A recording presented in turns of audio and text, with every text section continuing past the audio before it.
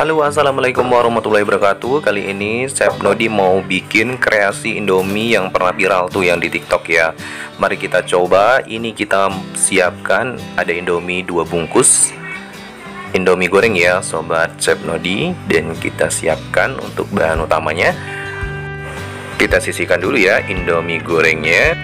Kemudian di sini aku siapkan bumbunya. Bawang putih 3 siung, kemudian bawang merah 3 buah, cabai rawit merah 5 buah, jeruk nipis satu buah nih. Nanti ini aku pakai satu irisan aja ya. Daun seledri segenggaman aja nggak usah terlalu banyak. Terus kemudian aku siapkan gula merah satu sendok makan. Setelah itu aku siapkan kecap ikan satu sendok makan ya nanti aku pakai. Ini penting banget ya pakai kecap ikan soalnya nanti bikin enak. Pertama-tama di sini aku mau iris-iris dulu bawang putihnya kemudian nanti aku mau cincang bawang putihnya nanti semuanya ini serba cincang ya bawang putih bawang merah dan cabai rawit merahnya. Semuanya dicincang. Kita bikin kreasi indomie yang viral pernah viral di tiktok ya. Atau ini bikin kreasi indomie yang benar-benar enak. Kalian wajib coba nanti di rumah. Resep indomie yang enak kalian juga bingung kan nanti mau masak indomie seperti apa atau kalian bosan bikin indomie gitu-gitu aja. Nah kalian coba nanti ini resepnya. Ini tentunya bikin ketagihan ya enak banget pokoknya. Nah di sini bawang putihnya aku cincang-cincang aja seperti ini ya. Kita cincang bawang putihnya. Oke segini udah cukup. Kemudian bawang merahnya juga sama ya. Aku iris-iris dulu seperti ini lalu kemudian kita cincangnya nanti ya bawang merahnya. Kita iris-iris bawang merahnya. Oh ya sobat Semnodi kalian pernah belum nih bikin kreasi Indomie yang pernah viral di TikTok? Kalau kalian udah pernah tulis di kolom komentar ya bagaimana rasanya dan apakah kalian lebih suka kreasi Indomie seperti ini atau bikin indomie goreng seperti biasanya. Nah ini bawang merahnya ya. Aku cincang-cincang seperti ini. Segini udah cukup ya teksturnya. Kemudian cabai rawit merahnya juga sama diiris-iris kemudian dicincang-cincang juga seperti ini. Oke segini udah cukup ya. Lalu kemudian daun seledrinya ini aku iris-iris dicincang-cincang juga sebenarnya resep asli dari Indomie Thailand atau kreasi Indomie lainnya itu seperti uh, sebenarnya pakai daun ketumbar ya tapi di sini aku pakai daun seledri aja. Kemudian jeruk nipisnya aku pakai satu irisan aja biar nggak tahu asam.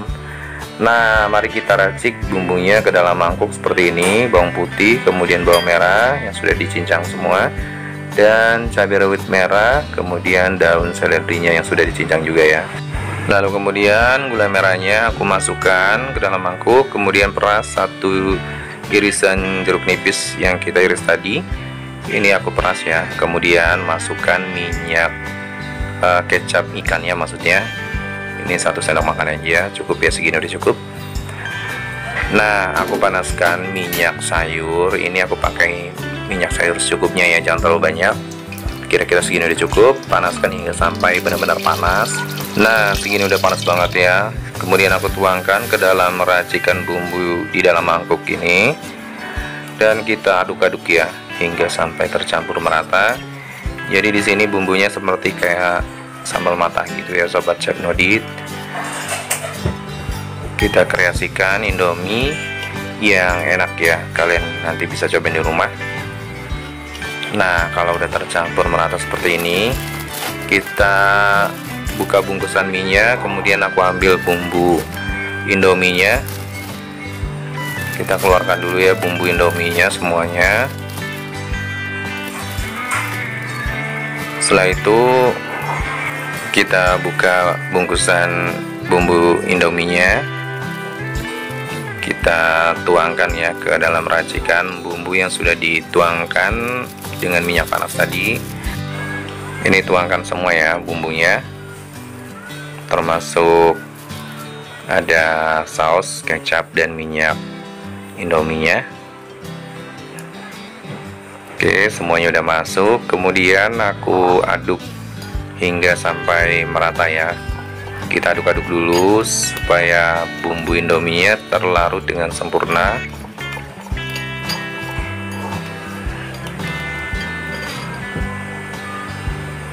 Wow ini ya bumbu indominya yang sudah mengkilap.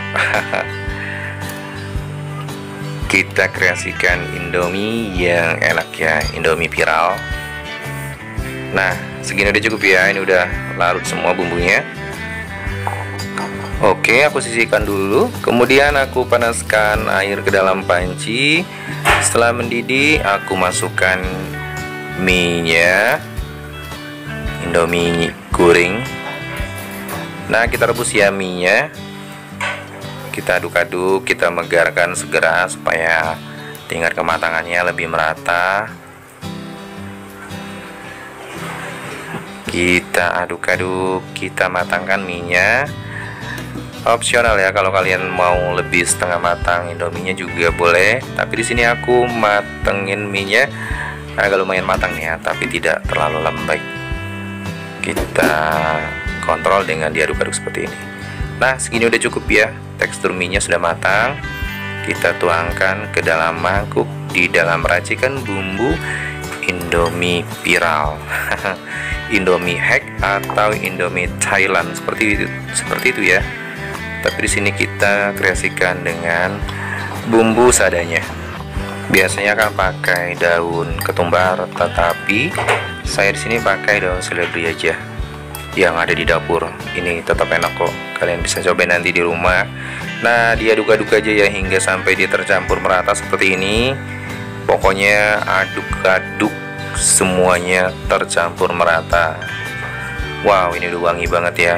Nah ini dia Indomie kreasi Indomie viral yang pernah di TikTok ya. Kalian bisa coba di rumah dan kreasikan Indomie kalian masak seperti ini. Ini enak banget ya. Aku baru pertama kali coba kreasi Indomie viral seperti ini dan ternyata enak enak banget. Tetapi jangan lupa ya setelah makan Indomie uh, masakan resep seperti ini kalian wajib minum teh hangat untuk menetralisirkan dari semua mie ini. Soalnya kan mie ini mengandung agak banyak minyak juga ya nah ini aku mari coba indomie yang enak ya. Kreasi indomie yang pernah viral di tiktok. Kalian bisa coba di rumah ya. Cara bikinnya juga gampang. Kreasikan indomie kalian di rumah. Kalau kalian bosan masak mie indomie gitu-gitu aja. Dan terima kasih yang sudah menonton. Wassalamualaikum warahmatullahi wabarakatuh. Bye bye thank you